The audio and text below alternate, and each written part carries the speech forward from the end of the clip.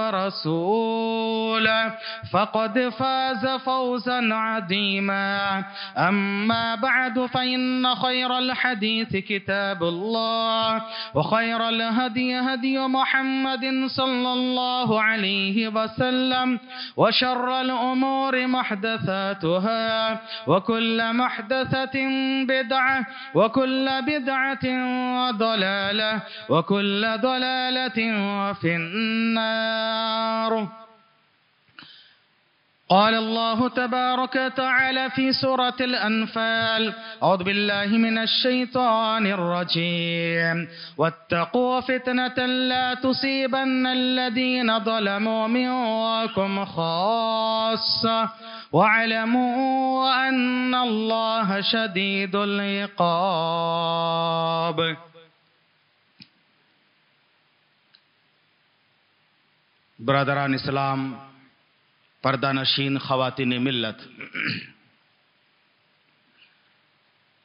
खुदबा मसोना के बाद मैंने आपके सामने सूरतुल अनफाल की आयत नंबर 25 पढ़ी है।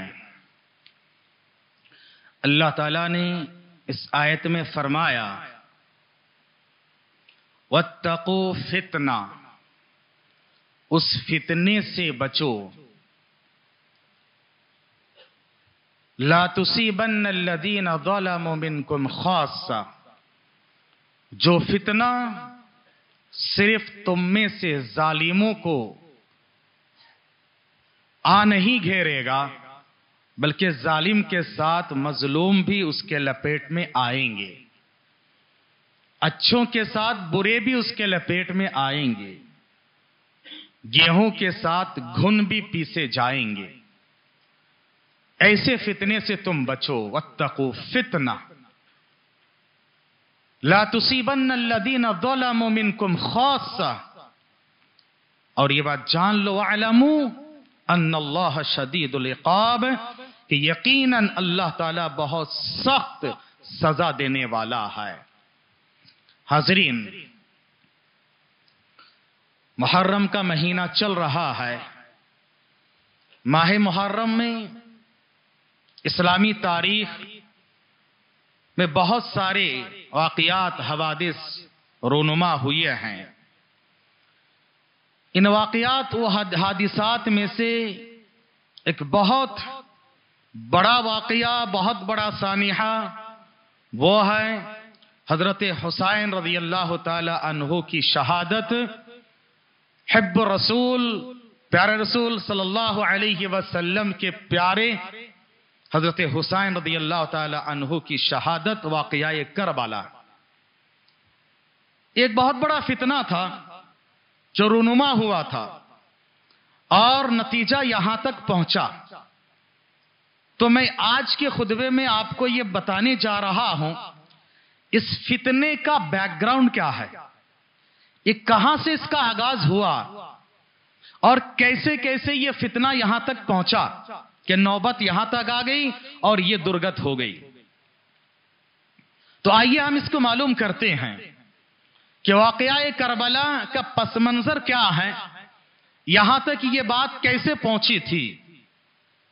हजरीन, कबल इसके कि वाकया करबला के पस मंजर में हम जाएँ। पहले हम ये मालूम करें कि फितना किसको कहा जाता है।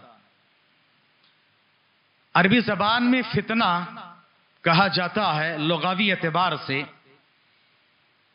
कि सुनार सोने को आग में तपाता है। तपाने के बाद सोने की असलियत को मालूम करने के लिए कि इसमें से सोना कितना है और रदी कितना है, खरा कितना है, खोटा कितना है, उसकी जौदत व रदात को मालूम करने के लिए कि कौन इसमें से अच्छा है और कौन बुरा है, इसको तपाकर मालूम किया जाता है। इसको कहा जाता फितना। और शर्य इस्तेला में फितना कहा जाता है, हर वो काम, हर वो चीज़, हर वो काम, हर वो चीज़ जो हमें दीन के रास्ते से, इस्लाम के रास्ते से, अल्लाह उसके रसूल के रास्ते से, इबादत के रास्ते से गाफिल कर दे, सुस्त बना दे या दूर कर दे। सबसे अहम काम है आदमी शिरक से बचे, तोहीद पर अमल पैरा हो जाए। शैतान अगर किसी से शिरक नहीं करवा सकता है तो उससे कम बिदात में मुब्तला करता है। अगर वो नहीं हो सका है तो उसको इबादत से दूर करने की कोशिश करता है। अगर वो ना हो सके तो उसको इबादत का नशा देता है, इबादत का गुरूर देता देता है। इबादत के रास्ते से गुमराह करता है, इबादत के नाम पर शिर करवाता है और सुन्नत के नाम पे बिदात करवाता है, नेकी के नाम पे गुना करवाता है। और अगर ये सब काम नहीं नहीं हो सका तो आपस में लड़ाता है। और उसकी वजह से इंसान पहले दात तबलीग का काम करता था, तोहीद पर प्रचार करता था।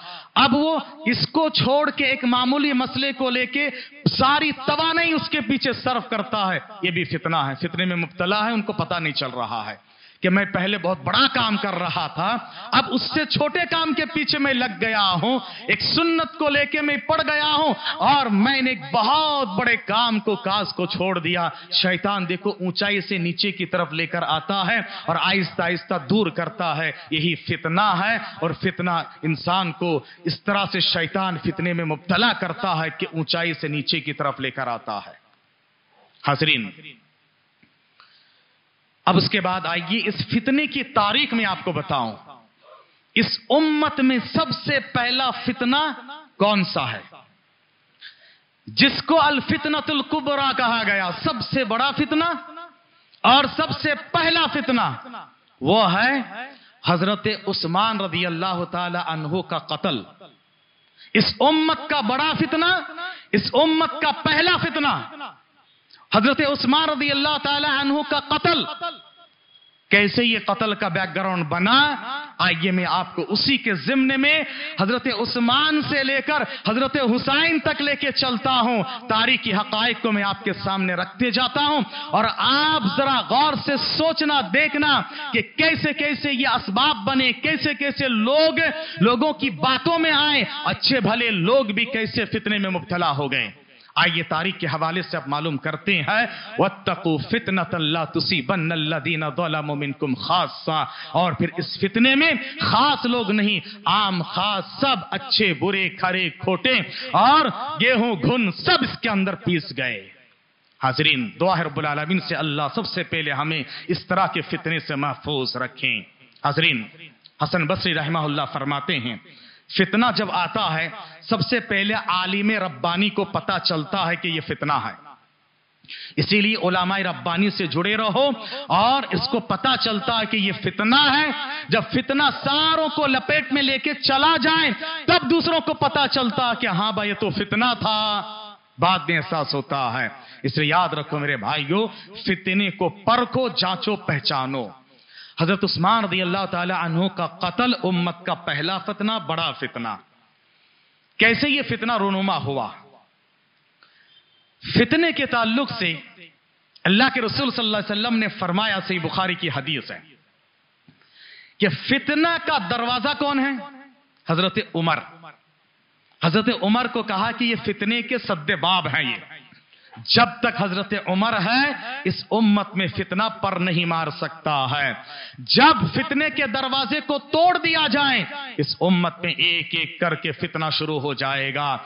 साहब राम ने पूछा कि अल्लाह के रसूल, उस फितने के दरवाजे को तोड़ा जाएगा या खोला जाएगा? आप सल्लल्लाहु अलैहि वसल्लम ने फरमाया, नहीं जी, उस दरवाजे को तोड़ दिया जाएगा। यानी हज़रत उस्मान को शहीद हज़रत उमर को शहीद कर दिया जाएगा। साहबा ने कहा अगर खोल दिया जाए तो बंद करना मुमकिन है तोड़ ही दिया जाए दरवाज़ा ही ना हो तो कहाँ से बंद करें? हज़रत उमर तहो को शहीद कर दिया गया यहाँ से फितने का दरवाज़ा खुला। फितने का दरवाज़ा खुला। हज़रत उमर की शहादत से फितने का दरवाज़ा खुला। कैसे उनकी शहादत हुई मेरे पास वक्त ना, ना काफ़ी उसमें मैं जाना नहीं चाह रहा हूँ। असल फितना यहाँ से शुरू होता है ठीक है? हज़रत उमर के बाद खलीफा बनते हैं हज़रत उस्मान रदी अल्लाह तहु हज़रत उस्मान रदी अल्लाह तहु वो उस्मान, अल्लाह अकबर, जिनके फजाइल, मनाकब, क्या उनकी फजीलत और मनकबत है? अशरा मुबशरा में से जितने साहबा कराम हैं, उनको अल्लाह के रसूल ने एक बार या किसी को दो बार जन्नत की बशारत दी। तने तनहा हज़रत उस्मान है, जिनको अल्लाह के रसूल ने चार चार बार जन्नत की बशारत दी। अल्लाह अकबर। ये हज़रत उस्मान की फसीलत है। और नबी ने आखिरी बार कहा, आगे उस्मान कोई भी काम ना करें, कोई भी नेकी ना करें, जन्नत की जमानत में देता हूँ हज़रत उस्मान के लिए। अल्लाह अकबर। वो उस्मान जिनको देखकर फरिश्ते हया करते थे, फरिश्ते हया करते थे। एक मरतबा की बात है, प्यारे नबी सल्लल्लाहु अलैहि वसल्लम घर में तशरीफ़ फरमाते हज़रत आयशा के घर में।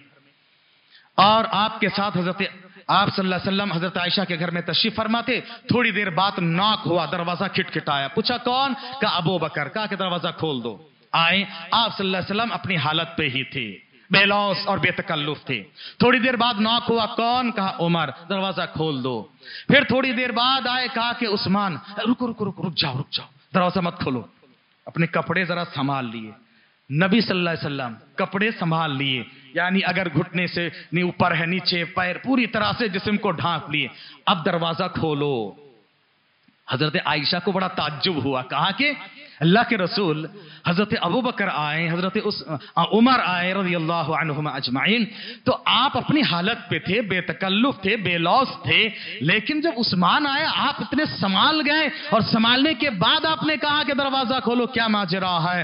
तो कहा कि आई आयशा, क्या मैं उस जात से हया ना करूँ, जिनको देखकर फरिश्ते हया करते हैं। अल्लाह अकबर। उस्मान बड़े हयादार हैं। अगर हो सकता मेरे जिस्म का कोई हिस्सा देख ले उस शर्म के मारे में पानी पानी होके वापस चले जाए। इसलिए फरिश्ते जिनको देखकर हया करते हैं, मैं हया ना करूँ? अल्लाह अकबर, ये हज़रत उस्मान है। कब्रिस्तान के पास से गुजरते, रोते रोते दाढ़ियाँ तर हो जाती थी। अल्लाह अकबर, इतना तकवा उनके पास भरा हुआ था। अल्लाह ने दौलत भी दिया मालदारी भी दी तो दिलदारी भी दिया था। उस्मान गनी है वाकई माने में गनी है।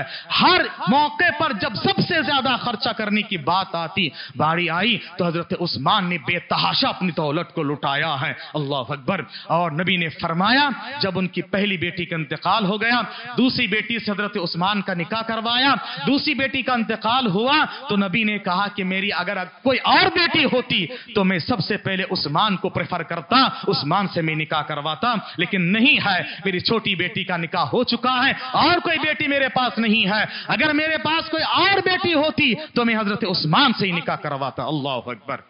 ऐसे उस्मान को भी लोगों ने बख्शा नहीं है, याद रखो। हमा शुमा का क्या हाल है हाँ? हज़रत उस्मान को भी लोगों ने बख्शा नहीं है। क्या हुआ? आइए बैकग्राउंड फितना कैसे शुरू हो रहा है? गौर से सुने। हज़रत उस्मान रज़ी अल्लाह तु खलीफा बने। हज़रत उमर के जमाने में ही, आखिरी आखिरी अयाम में, एक यहूदी, जिसका नाम है अब्दुल्ला बिन सबा उसी से सबाई में बार बार कहूँगा, याद रखना। सबाई यानी अब्दुल्ला बिन सबा के ग्रुप वाले सबाई। और इसी जिम्न में बताऊँगा कि कैसे शिया वजूद में आए, खवारिज, राफिजी कैसे वजूद में आए हैं इंशाला मैं इसी जिम्न में आपको बताऊँगा। अब्दुल्ला बिन सबा यहूदी, इस्लाम का लुबादा ओढ़ के मुसलमानों में दाखिल हुआ। इस्लाम उसके दिल में दाखिल नहीं हुआ। क्यों लुबादा ओढ़ के आया? ताकि मुसलमानों को आपस में लड़ाए और फितने में मुबतला कर सके। क्यों ऐसा करना पड़ा? इसलिए कि मुसलमान इतने ताकतवर हो चुके थे। अब खुल्लम खुल्ला इनके साथ मुकाबला नहीं कर सकते हो। अब इनको पीछे से लड़ाओ, पीछे से वार करो। क्योंकि मदीने में प्यारा नबी सल्लल्लाहु अलैहि वसल्लम की हिजरत करके आने से पहले यहूद का कब्जा था, यहूद का कब्जा था। और मुनाफिकीन के सरदार अब्दुल्ला बिन उबई बिन सलूल को सारे सारे मुशिकीन ने मिलकर औस खजरत ने मिलकर सरदार बना लिया था। उसकी ताजपोशी की तैयारी चल रही थी। इतने में नबी हिजरत करके आए और आते ही नबी की शक्ल में अच्छे लीडर मिल गए। अब लोगों ने यहूदियों को छोड़ दिया, अब्दुल्ला बिन उबाई बिन सलूल को छोड़ दिया। प्यारे नबी सल्लल्लाहु अलैहि वसल्लम को सरदार बना लिया। इसी से मुनाफिकीन वजूद में आए। मुनाफिकीन कैसे वजूद में आए देखें? मुनाफिक अब्दुल्ला बिन उबाई बिन सलूल। ये जो मुनाफकत शुरू किया क्यों? मुझे सरदार बनाना था। अब मेरा पोस्ट चला गया। मोहम्मद सल्लल्लाहु अलैहि वसल्लम को अब उसको पोस्ट नहीं मिला जिसकी वजह से निफाक मुनाफा शुरू किया। नबी के खिलाफ, मुसलमानों के खिलाफ क्या क्या गुल खिलाए आप जानते हैं कि मुनाफिक में क्या क्या किए हैं? आप सल्लल्लाहु अलैहि के हरम में उंगली उठाए। आयशा पर इल्ज़ाम मुनाफिकिन ने लगाया था। आप सल्लल्लाहु को मस्जिद जरार बनाकर मारने की साजिश मुनाफिकिन ने रची थी। आप वसल्लम पर ऊपर से चक्की का पाट गिराकर मारने की साजिश की थी। अंसार और महाजरीन को आपस में लड़ाने के लिए बारह साजिश किए। अंसार और महाजरीन तलवार कई बार सोत लिए। कौन लोग के मुनाफिकीन? वजह क्या है? अपना पोस्ट चला गया इसलिए। अपना पोस्ट चला गया, इसलिए याद रखो, यही कुर्सी का नशा ओलामा ने लिखा है, शराब का नशा उतर जाता है, मगर कुर्सी का नशा उतरता नहीं है, मरते दम तक उसका नशा उतरता नहीं है, बीमार इससे जुस्ता होगा, फिर भी कुर्सी का नशा छोड़ेगा नहीं। और याद रखो, शराब का नशा कभी उतर जाएगा, और ये कोहदे का नशा, कुर्सी का नशा इंसान को ले डूबता है। नबी ने फरमाया, तिरमिजी की हदीस है कि याद रखो, एक खून खार भेड़िया। दो खून खार भेड़िए को, भूखे भेड़िए को आप बकरों के बार में छोड़ दो, वो जितना नुकसान नहीं पहुंचाएँगे, इंसान के दीन को दो चीज़ें नुकसान पहुंचाती हैं। एक है उसके माल और दौलत की चाहत और मोहब्बत, और ये कि वो हदर मनसब की लालच। इंसान के दीन को बर्बाद वैसे करते हैं और उसको उतना नुकसान पहुंचाएँगे जैसे दो खून खार भेड़िए बा बकरियों के बाड़ों को नुकसान नहीं पहुंचाएँगे। ये दोनों चीज़ इंसान को नुकसान पहुंचाती है। मुनाफिक ऐसे वजूद में आए। मक्के में कोई मुनाफिक नहीं थे। कुफार मुशिकिन खुल्लम खुल्ला मुखालफत। उसके बाद यहूद की दुश्मनी शुरू हुई और उसी दुश्मनी के नतीजे में आहिस्ता आहिस्ता यहूद ने सोचा, अब तो हम मुसलमानों को जाहिरी तौर पर कुछ कर नहीं सकते हैं। अब उनके अंदर घुसो, घुस कर लड़ाओ। चुनाचे अब्दुल्ला बिन सबा को तैयार किया गया और वो मुसलमानों के दरमियान आया। आने के बाद सबका दिमाग खराब करना शुरू किया। कैसे? हत उमर के जमाने में उसकी दाल गली नहीं, जायजा लिया। उमर के इंतकाल के बाद फितने का दरवाज़ा खुल गया। हज़रत उस्मान के खलीफा बनते ही अब ये ज़्यादा एक्टिव हो गया। ज़्यादा एक्टिव हो गया। इसने क्या करना शुरू किया, ये याद रखो। सबसे पहले हाकिम वक्त, जो हाकिम वक्त है, प्रेजेंट जो है, उस्मान रदी अल्लाह तहु इनके खिलाफ लोगों के दिमाग भरना, कान भरना शुरू किया। लोगों के कान भरना शुरू किया। और याद रखो, खवारिज की ये पहली अलामत है। सही बुखारी की हदीस से प्यार नबी सल्लल्लाहु अलैहि वसल्लम गजवा हुनैन के बाद माल गनीमत तकसीम कर रहे थे। जुल्खवाइसरा नाम में एक आदमी आया, जिसके दोनों ढोपर बड़े बड़े थे। आकर कहा, ए दिलिया मोहम्मद सल्लल्लाहु अलैहि वसल्लम सरे आम सबसे पहले अलल ऐलान हाकिम वक्त को, इमाम वक्त को, आलिम वक्त को जिसने टारगेट किया है, वो है खवारिज का सरदार जुल्खवाइसरा कहा कि, ए दिलिया मोहम्मद उस वक्त कौन इमाम थे? नबी सल्लल्लाहु अलैहि वसल्लम, हाकिम वक्त कौन है मोहम्मद सल्लल्लाहु अलैहि वसल्लम? और उस वक्त के आलिम कौन है आप सल्लल्लाहु अलैहि वसल्लम? नबी गुस्से में आ गए, कहा कि, क्या बात कर रहे हो? और ये देखो सरेआम बदनाम करना, ताकि वो शाइन हो। और इनको, क्योंकि बड़े लोगों को छेड़ो तो बड़ा बन जाएगा। ये कुसूल है, याद रखो हाँ। इसीलिए हर चीज़ का जवाब देना कोई ज़रूरी नहीं है हाँ। वक्त खुद इंशाअल्लाह, अल्लाह ताला जवाब दे देता है। याद रखो मेरे भाइयों, नबी गुस्से में आगे कहा, मैं अगर कायनात में इंसाफ ना करो, कौन इंसाफ करेगा? जी, इंसाफ के लिए ही मैं आया हूँ। उसके बाद वो जाने लगा तो प्यारे नबी सल्लल्लाहु अलैहि वसल्लम ने फरमाया, इसके खानदान से, इसके कबीले से ऐसे लोग निकलेंगे, दीन के नाम पे दीन से ऐसे निकल जाएँगे, जैसे तीर कमान से निकल जाती है, और तीर कमान से निकल जाए तो वापस आना बहुत मुश्किल है। आपने कहा कि यही खराजा, निकल जाना उसी से खवारिज, यानी उसी के कबीले से खवारिज आए हैं। खवारिज का पहला टारगेट यही होता है। हाकिम वक्त, प्रेजेंट जो जो जिम्मेदारान हैं, उनको टारगेट किया करो, और जो उलमा है, उनको टारगेट किया करो। ये इनका पहला तरीका होता है, याद रखो। हाँ? तो अब्दुल्ला बिन सबा ने भी ही काम किया। हाकिम वक्त कौन है, हज़रत उस्मान? और उस वक्त, इमाम वक्त भी हज़रत उस्मान, और आलिम वक्त भी वही है। हाँ? टारगेट किया। क्या टारगेट लोगों को गलत सलत बातें पेश करना। ये देखो हज़रत उस्मान, अपने लोगों को ही ओहदा मनसब दे रहे हैं, जो चाहे मनमानी कर रहे हैं। ये देखो उमैया खानदान से है, और उमैया और बनी हाशिम बनो उमैया की पुरानी दुश्मनी थी। हाँ? खानदानी पुरानी दुश्मनियों को निकाला। अब्दुल्ला बिन सबा, निकाल के क्या किया?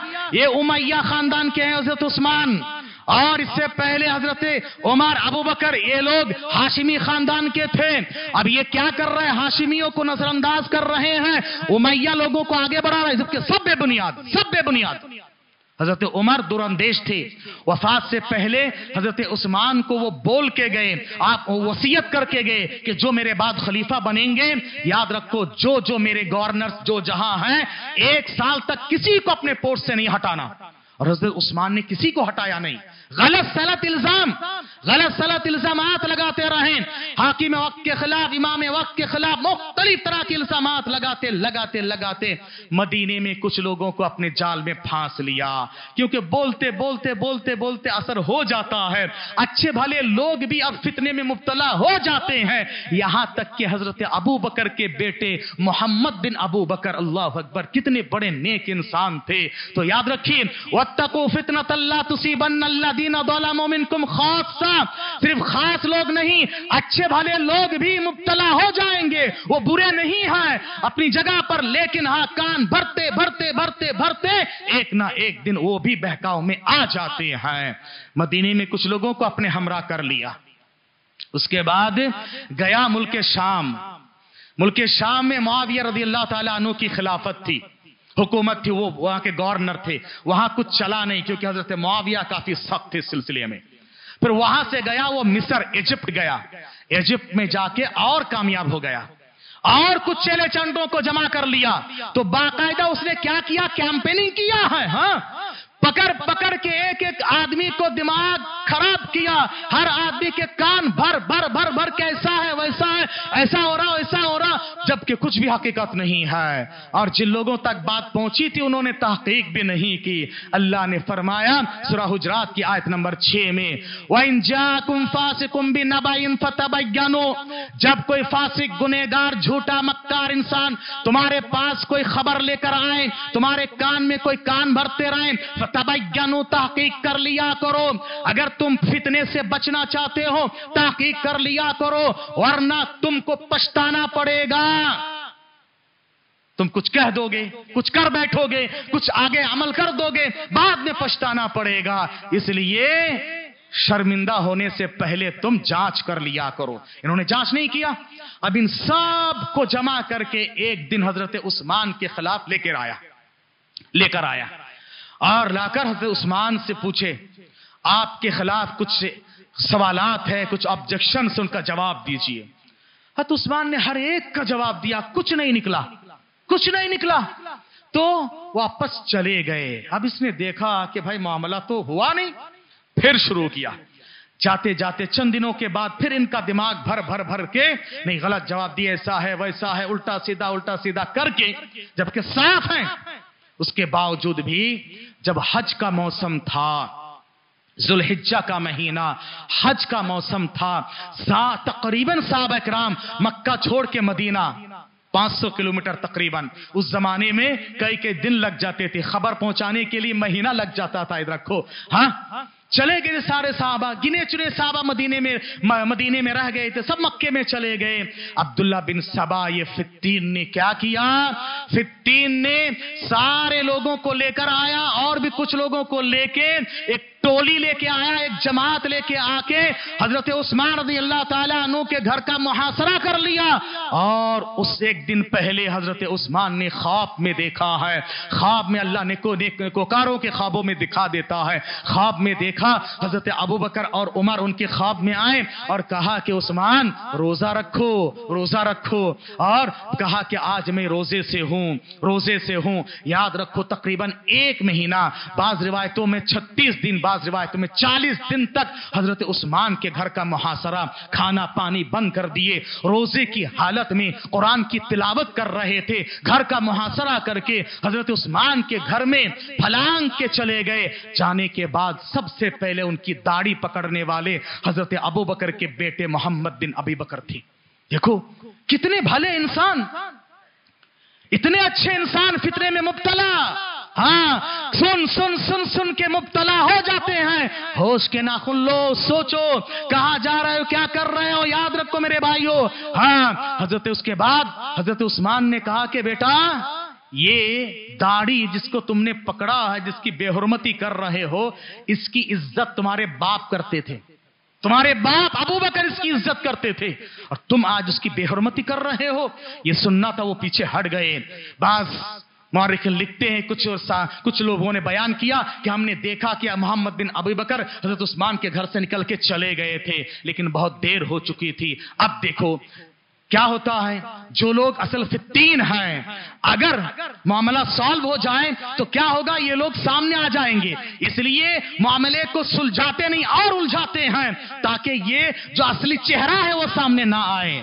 क्या कर दिए? अब हज़रत उस्मान पे कातिलाना हमला कर दिए और हज़रत उस्मान रोज़े की हालत में कुरान की तिलावत कर रहे थे और सुरा बकरा की ये आयत थी फसयकफी अल्लाह ताला उनसे काफ़ी हो जाएगा उस्मान, आए तुम्हारी तरफ़ से अल्लाह इनको निमट लेगा, देख लेगा, अल्लाह अकबर, उनका खून का छीटा उस कुरान के उस आयत पे पड़ा है। देखो, हज़रत उस्मान की शहादत हो गई, ये उम्मत का पहला फितना है।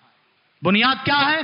बेतुकी बातें, बेबुनियाद बातें, कान भर भर भर भर के, और जो है दिमाग खराब कर करके कैंपिंग कर कर करके ऐसा हुआ ऐसा हुआ, ऐसा कर रहे हो, ऐसा कर रहे हैं। हकीकत में कुछ नहीं है। हाकिम वक्त, इमाम वक्त के खिलाफ कान भर भर भर के, पहला फितना इस उम्मत ने रोनुमा हुआ, बड़ा फितना रोनुमा हुआ, ऐसा फितना हो गया। हज़रत उस्मान के दफन के लिए मौका नहीं है। सारे साहब कराम चले गए। उनके घर वालों ने दफन किया।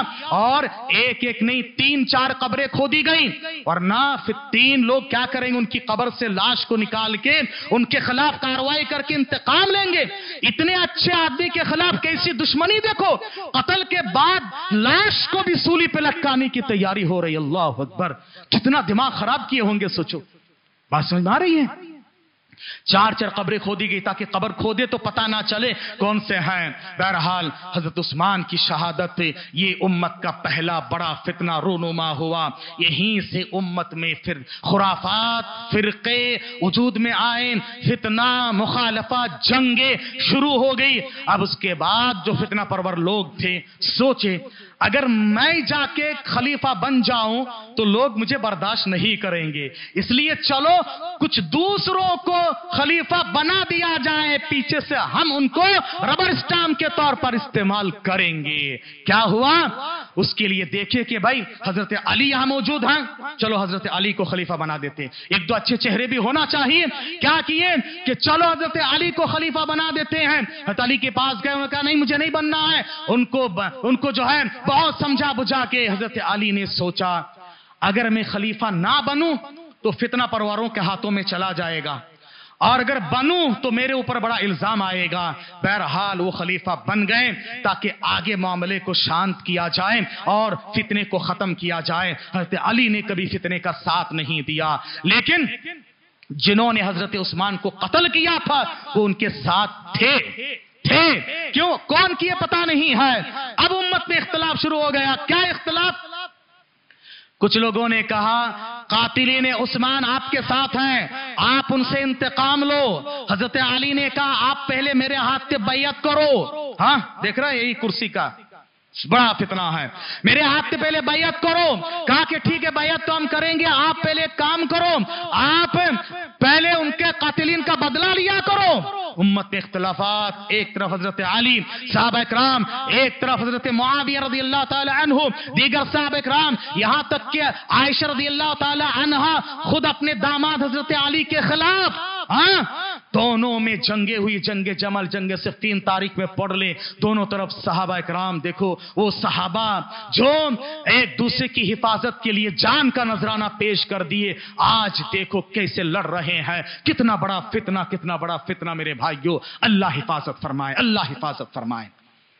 मामला यहाँ तक पहुँचा, जंगे हुई जंगे हुई। उसके बाद जंगों का मंजर आपके सामने रखने के लिए वक्त ना काफ़ी है। बहरहाल, अब हालात ऐसे हैं कि ये जो फितना परवर लोग हैं, अब्दुल्ला बिन सबा और उनके साथ जो लोग हैं, और उनके साथ जो खवारिज लोग हैं, ये चाह रहे थे कि हज़रत अली को अपने हाथ में कर लें, और उनको जैसे चाहे इस्तेमाल करें, लेकिन नहीं हो रहा था, नहीं हो रहा था। और उनके लिए रास्ते के कांटे थे तीन बड़े साहब कराम एक हज़रत अली दूसरे हैं हज़रत अमर बिन आस मिस्र में और तीसरे हज़रत मुआविया रदी अल्लाह शाम में। और इस्लामी खिलाफत में ये तीन बड़े बड़े मुल्क हैं बड़े बड़े स्टेट्स हैं, शाम, सीरिया इजिप्ट मिस्र और यहाँ पर मदीना है।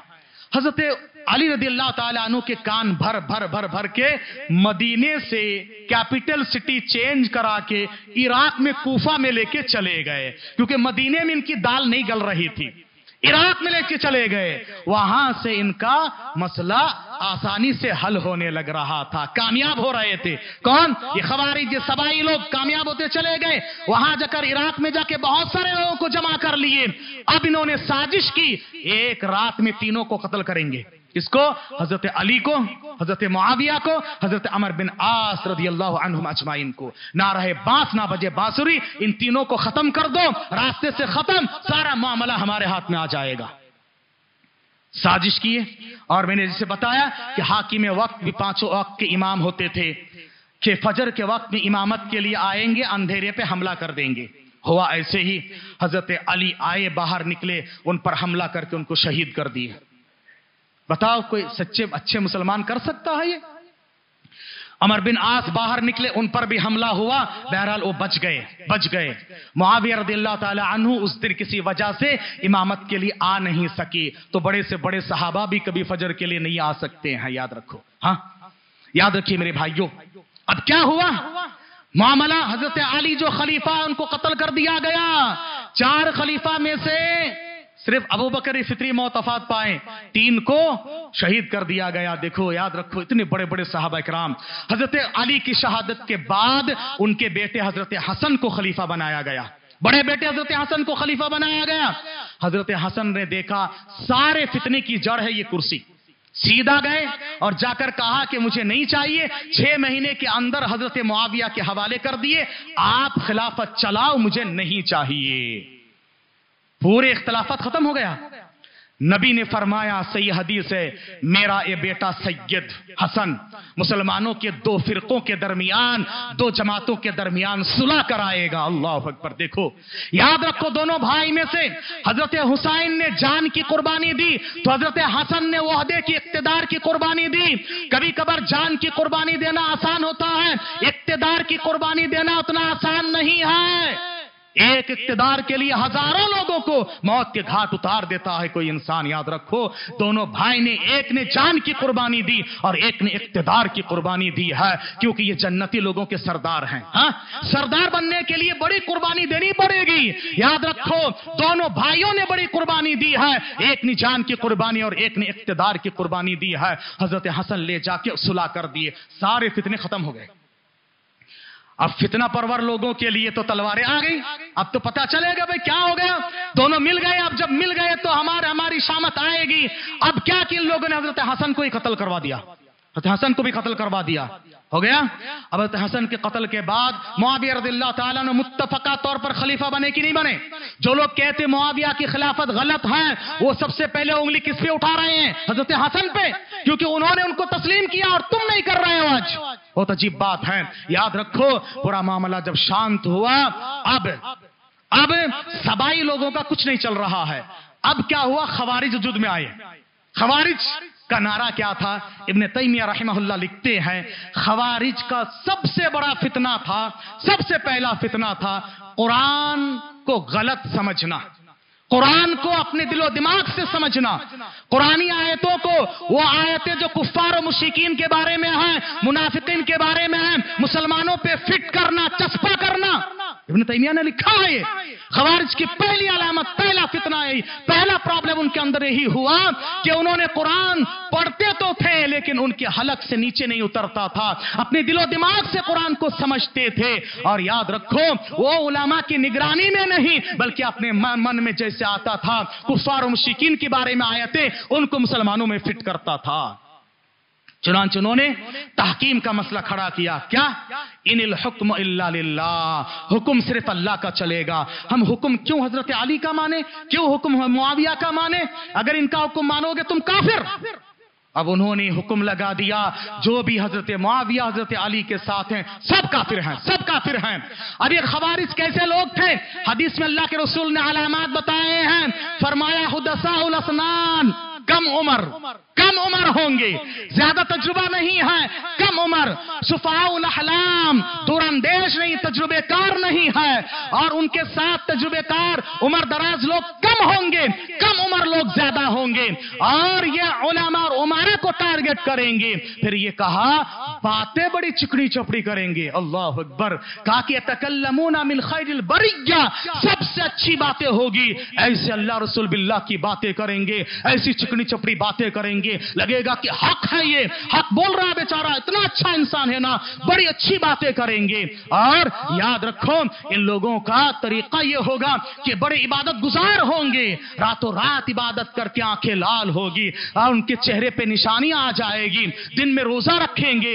हज़रत अब्बास अब्बास बयान करते हैं कि जब ये लोग, ये खवारिज लोग, जब मुसलमानों साहबा के खिलाफ लड़ने के लिए आए बाकायदा लड़ने के लिए आए कि तुम सब काफिर हो गए हो, तुम्हारे खिलाफ जंग करना है। नबी ने फरमाया, ये लोग अहलुल अवसान को छोड़ देंगे बुत परस्तों को छोड़ देंगे। वह यकतुलोना अहल इस्लाम, और सारी तवानाई उनके मुसलमानों के खिलाफ इस्तेमाल होगी। मुसलमानों के खिलाफ उलामा ने लिखा, आज भी ऐसे लोग मौजूद हैं। सारे के सारे अलामतें तो नहीं है, बास अलामतें आज भी। जमात की शक्ल में नहीं, लेकिन फ़िक्र की शक्ल में, सोच और थॉट की शक्ल में आज भी खवारिज पाए जाते हैं। तो हज़रत अली ने कहा कि जाओ, हज़रत इब्ने अब्बास को जाओ, इनको समझाओ। इन हुक्म इल्ला का क्या मतलब होता है? हज़रत इबन अब्बास कहते हैं कि मैं सबसे अच्छा लिबास, कीमती लिबास पहना और पहन के उनके पास गया। तो जाते ही सबसे पहले उन्होंने मेरे ड्रेस पे एतराज़ किया, क्या इतना महँगा ड्रेस पहन लिए हो? उलामा के ड्रेस, महँगे ड्रेस, अच्छे ड्रेस, उलामा की हलाल कमाई पे उंगली उठाना, याद रखो ये खवारिज की अलामत है। सबसे पहले एतराज़ किए। क्यों? उस वक्त के ओलामा कौन है? साहब इक्राम, है ना? उस वक्त ओलामा साहब इकराम। तो कहा कि आई इब्ने उमा, इब्ने अब्बास, तुमने क्या बना रखा है? इतनी कीमती लिबास पहने हैं। उसके बाद कहा कि देखो इन हुक्म इल्ला तुम कह रहे हो, हुक्म सिर्फ़ अल्लाह का ही चलेगा, किसी का हुक्म नहीं। अल्लाह ने कुरान में फरमाया, सबसे ज़्यादा तफसीर जानने वाले कौन है नबी ने फरमाया? इब्ने अब्बास ही हैं। अल्लाह ने कुरान में कहा, जब मियाँ बीवी में झगड़ा हो जाए, फब असो हकमम मिन आहली वह हकमम मिन आहलिहा तो तुम क्या करो? इनमें से एक हकम, हुक्म से ही हकम। एक फैसला करने वाले, इनसे एक फैसला करने वाले जाए, दोनों जो फैसला कर ले वो मान ले। अगर मियाँ बीवी इन दोनों की बात मान ले तो काफिर हो जाएँगे? नहीं। लेकिन खवारिज ने कुछ जवाब नहीं दिया, मानने तैयार नहीं है। नहीं। हमारे मुर्गी के की टांग। कितना समझाओ मानने तैयार नहीं। तो इब्ने अब्बास ने कहा अच्छा बताओ, तुम में कोई सहाबी है? तुम में हल्फी हल्फीकुम मिन सहाबी? आप तो कह रहे हैं कि आप ही कुरान और हदीस को सही समझते हो। एक सहाबी तुम्हारे साथ है? नहीं। ये सुनना था। दो हज़ार खबारिश तोबा करके वापस आ गए। आज तो हम सहाबा नहीं कहेंगे, उलामा कहेंगे कि जो सबसे ज़्यादा ऑथेंटिक सही उलामा है। कौन है? किन के साथ है? आप देखें, क्योंकि इन्हीं के साथ हक है। याद रखो मेरे भाइयों, इसके नतीजे में खबारिश वजूद में आए और उनके भी कला कमा हज़रत अली ने भी किया, हज़रत मुआविया ने किया। किया यहाँ से यह सिलसिला खत्म होता है। फिर नतीजे में शिया वजूद में आए जो हज़रत अली के मुआद्दीन उनको शिया ने अली कहा जाता था। इनके ताइद में जो जमात वजूद में आई, वो शिया और दोनों के मुखालफत में एक जमात खवारिज, एक है सबाई यहूदीन और एक है नवासिब, जो हज़रत अली के खिलाफ और जो है आले बैत के खिलाफ और उमैया के उमैया के मुआद्दीन इतने सारे लोग आ गए, देखो, इतने खिलाफत होते होते होते उम्मत मुख्तलिफ़ फिरके वजूद में आना शुरू हो गया। फितने का दरवाज़ा ये खुल गया। इसी से आखिरी कड़ी में करबला के वाक्य को जोड़ता हूँ। उसके बाद देखो जब हज़रत हसन को शहीद कर दिया गया। अब इनके खानदान में हज़रत हुसैन बचे हुए हैं। मुआविया रजील्ला तु जब तक खिलाफत चलाए, कुछ नहीं कर सके, कुछ बिगाड़ नहीं सके, सबको खत्म किए। हज़रत मुआविया के इंतकाल के बाद जब यजीद खलीफा बने, अब हुसैन रज़ी अल्लाह तु और यजीद को फिर लड़ाने लगे। दोनों को लड़ाने लगे। हज़रत हुसैन को गलत, सलत खत लिख के रिपोर्ट दे दे के उनका दिमाग खराब करके करबला के मैदान में लाके, जो लाए, वही अक्त ज़रूरत जो है मैदान छोड़ के भाग गए और हज़रत हज़रत हुसैन रदी अल्लाह तहु को बेयार मददगार शहीद होना पड़ा। ये बैकग्राउंड इस तरह से बना मेरे भाइयों, ये फितना इस तरह से वजूद में आया। आगे फितना शुरू होता गया होता गया। आगे तारीख का मुताला आप करें। दुआ की रबालमीन से अल्लाह तबरक ताला हमें और आपको वाक़ करबला के पस मंजर में ये जो खानदानी रकाबत और उमरा और उलामा के खिलाफ गलत प्रोपागंडा, गलत साजिशें, गलत बातों को फैलाकर, फितने को मुबतला जो किया जा रहा है। वत्तको फितनतन, ला तुसी बन्नल्लजीन मिनकुम खासा सिर्फ़ खास नहीं, आम, खास, अच्छे, भले, सब इसमें मुबतला हो जाएँगे। अल्लाह उनसे बचाए रखें और पैगाम इसमें यह है कि अल्लाह ने कहा, जब तुम्हारे पास कोई बात लेकर आए, आप तहकीक कर लो वरना आपको शर्मिंदगी उठानी पड़ेगी। गुनेगार आप भी हो जाओगे, क्योंकि नबी ने फरमाया कोई झूठी बात सुनता है, उसकी तस्दीक करके फैलाता है, वो भी झूठा है, वो भी झूठा है। इसलिए याद रखो मेरे भाइयों, आपकी हमारी ज़िम्मेदारी है, सलफ का ये तरीका है। आप जिसके बारे में सुने, डायरेक्ट जाकर उनसे पूछें कि आपके बारे में ऐसी ऐसी बातें हैं। अगर वो नहीं है, बड़ा पहाड़ खड़ा करके उसके बाद नहीं, क्या भी नहीं है। याद रखो, ये पूरा फितने में, पेट में आके उसके बाद कुछ नहीं है। खोदा पहाड़ निकला, चूहा वाला मामला होता है। दुआ की रब्बुल आलमीन से, अल्लाह तबरक हमें और आपको फितने से महफूज रखे, आमीन। अल्लाह सारे मुसलमानों की जान, माल, इज़्ज़त आबरू, तीनों ईमान, अहलो अयाल की हिफाजत फरमा। अल्लाह मुसलमानों को नेक बना, एक बना। फितने, फसाद, खुराफात से अल्लाह ताला तो महफूज रख। जब तक दुनिया में रखना, ईमान अमान के साथ रखना, खातिमा बिल खैर फरमाना। और जब दुनिया से जाए, अल्लाह ताला कब्र के सवालात में साबित कदमी अता फरमा के, जन्नतुल फिरदाउस के आला में नबी की शफाकत और रफाकत नसीब फरमाना, आमीन। वाखरुदावा अलहमदिल्ला रबिल आलमीन।